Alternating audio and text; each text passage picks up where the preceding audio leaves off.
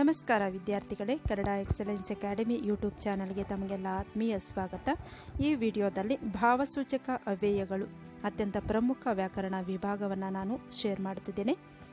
ನಮ್ಮ ಮನಸ್ಸಿನಲ್ಲಿ ಉಂಟಾಗುವಂತಹ ಕೋಪ, ಸಂತೋಷ, ದುಃಖ, ಮೆಚ್ಚುಗೆ, ಆಕ್ಷೇಪ, ತಿರಸ್ಕಾರ ಇತ್ಯಾದಿ ಪದಗಳನ್ನು ಅಥವಾ ಭಾವನೆಗಳನ್ನು ಅಥವಾ ಭಾವಗಳನ್ನು ವ್ಯಕ್ತಪಡಿಸುವಾಗ ಅರ್ಥವಿಲ್ಲದೆ ಕೆಲವು ಪದಗಳನ್ನು ಬಳಸುತ್ತೇವೆ.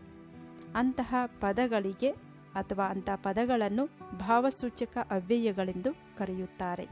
ಸ್ಪರ್ಧಾತ್ಮಕ ಪರೀಕ್ಷೆಗಳಲ್ಲಿ ಒಂದು ಪದವನ್ನು ಕೊಡುವುದರ ಮೂಲಕ ಅವ್ಯಯಗಳ ಪ್ರಶ್ನೆಯನ್ನು ಕೂಡ ಕೇಳುತ್ತಾರೆ. ಉದಾಹರಣೆ ನೋಡೋದಾದರೆ, ಆಹಾ, ಇಂತಹ ಪದಗಳನ್ನು ನಾವು ಭಾವಸೂಚಕ ಅವ್ಯಯಗಳು ಅಂತ ಕರಿತೀವಿ. ಬಳಿರೆ, ಅಯ್ಯೋ, ಓಹೋ, ಆಹಾ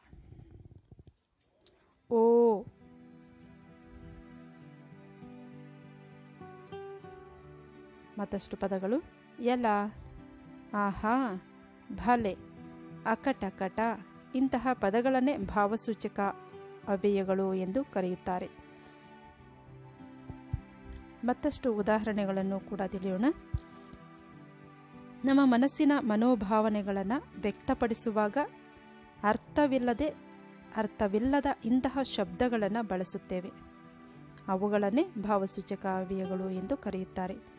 ಮತ್ತಷ್ಟು ಉದಾಹರಣೆಗಳನ್ನು ನೋಡೋದಾದರೆ, ಎಲ್ಲ, ಅಯ್ಯೋ, ಅಕ್ಕಟ ಅಕ್ಕಟಕಟ ಆಹಾ, ಭಲೆ, ಭಲ, ಭಳಿರೆ, ಛೆ, ತೂ, ಅಬ್ಬಾ ಆಹಾಹಾ ಆಹಾ, ಓಹೋ, ಓ, ಓಹೋ, ಆಹಾ, ಎಲೆಲ ಓ, ಏ ಆಹ ಆಹಾಹಾ ಇತ್ಯಾದಿ ಪದಗಳನ್ನು ನಾವು ಭಾವಸೂಚಕ ಅವ್ಯಯಗಳು ಎಂದು ಕರೆಯುತ್ತಾರೆ.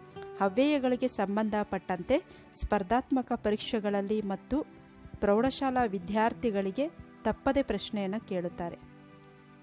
ಭಾವಸೂಚಕ ಅವ್ಯಯ ಅಂದರೆ ಏನು? ಅದಕ್ಕೆ ಉದಾಹರಣೆಯಾಗಿ ಪದಗಳನ್ನು ಕೂಡ ನೋಡಿದ್ದೇವೆ.